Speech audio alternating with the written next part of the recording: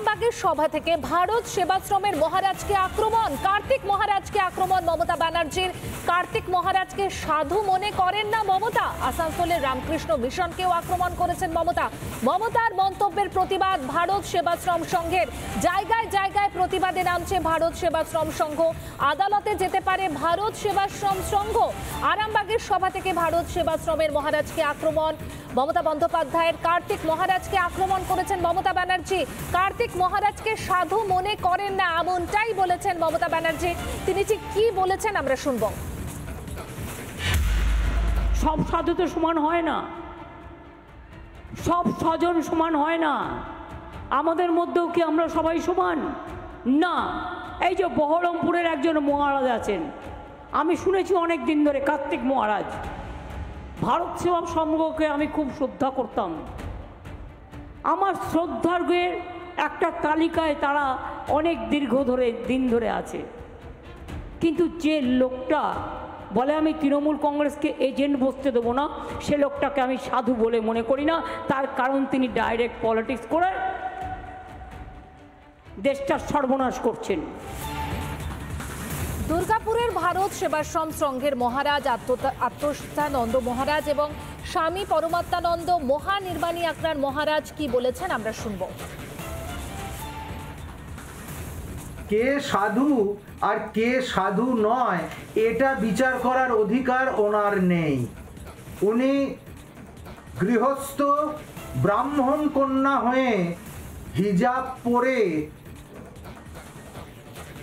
নামাজ পড়ে বিশেষ এক সম্প্রদায়ের মানুষের তাবেদারি করে দুধেল গাইদের যেভাবে উনি পৃষ্ঠপোষকতা করছেন, উনি নিজে হিন্দু কিনা সেটাই কখনো কখনো সন্দেহ হয়। এই কথা উনি যদি কোনো মৌলবী সম্পর্কে বলতেন, এই কথা উনি যদি কোনো ফাদারকে নিয়ে বলতেন, তাহলে বুঝতাম যে ওনার ভেতরে অনেক ক্ষমতা আছে।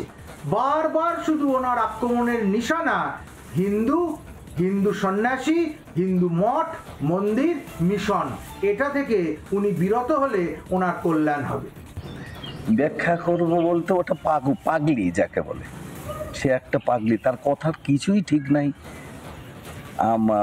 প্রাইম মিনিস্টারকে উল্টা পাল্টা কথা যে কে যা যেটা হওয়া উচিত না একটা মুখ্যমন্ত্রী যা বলা উচিত সেটা সে বলে না এটা মাথা খারাপ ছাড়া আর কি হতে পারে क्या विकसित भारत की बात करते हैं इसके कॉन्टेक्स्ट में क्या आपको लगता है विकसित बंगाल को आप कैसे देखते हैं?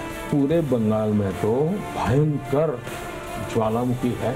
करोड़ों करोड़ों रुपए के नोटों के पहाड़ पकड़े जाते हैं। गरीबों का पैसा जो भ्रष्टाचारियों ने लूटा है इसको कैसे वापस लौटाया जाए? अब मैं उस पैसे उन गरीबों के जो डूबे हैं लौटाना चाहता हूँ।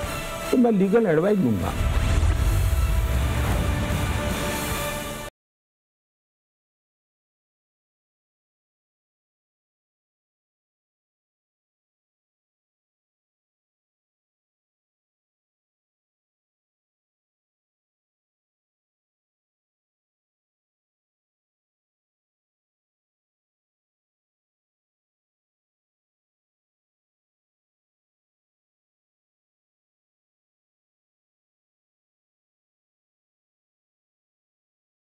আরামবাগের সভা থেকে ভারত সেবাশ্রমের মহারাজকে আক্রমণ, কার্তিক মহারাজকে আক্রমণ মমতা ব্যানার্জির। কার্তিক মহারাজকে সাধু মনে করেন না মমতা। আসানসোলের রামকৃষ্ণ মিশনকেও আক্রমণ করেছেন মমতা। মমতার মন্তব্যের প্রতিবাদ ভারত সেবাশ্রম সংঘের। জায়গায় জায়গায় প্রতিবাদে নামছে ভারত সেবাশ্রম সংঘ। আদালতে যেতে পারে ভারত সেবাশ্রম সংঘ।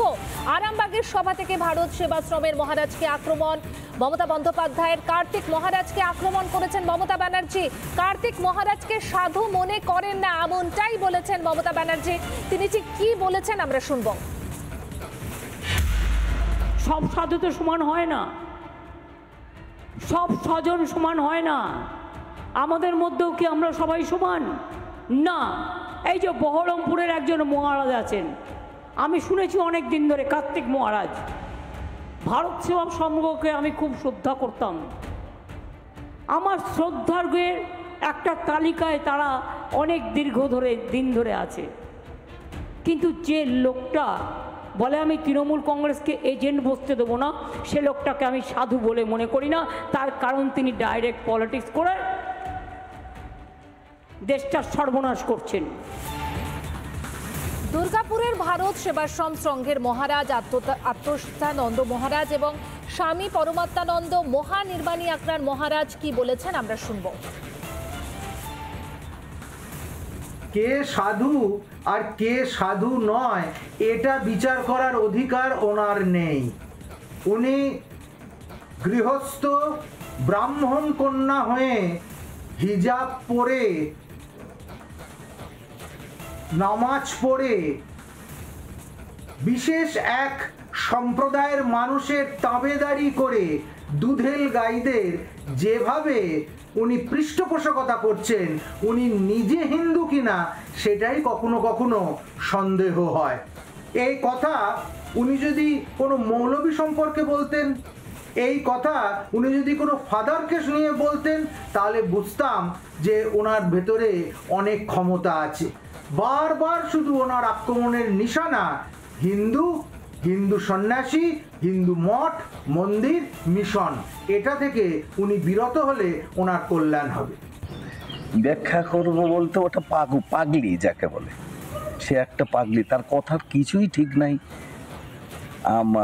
প্রাইম মিনিস্টারকে উল্টা পাল্টা কথা যে কে যা যেটা হওয়া উচিত না একটা মুখ্যমন্ত্রী যা বলা উচিত সেটা সে বলে না এটা মাথা খারাপ ছাড়া আর কি হতে পারে क्या विकसित भारत की बात करते हैं इसके कॉन्टेक्स्ट में क्या आपको लगता है विकसित बंगाल को आप कैसे देखते हैं? पूरे बंगाल में तो भयंकर ज्वालामुखी है। करोड़ों करोड़ों रुपए के नोटों के पहाड़ पकड़े जाते हैं। गरीबों का पैसा जो भ्रष्टाचारियों ने लूटा है इसको कैसे वापस लौटाया जाए? अब मैं उस पैसे उन गरीबों के जो डूबे हैं लौटाना चाहता हूँ। तो मैं लीगल एडवाइस दूँगा।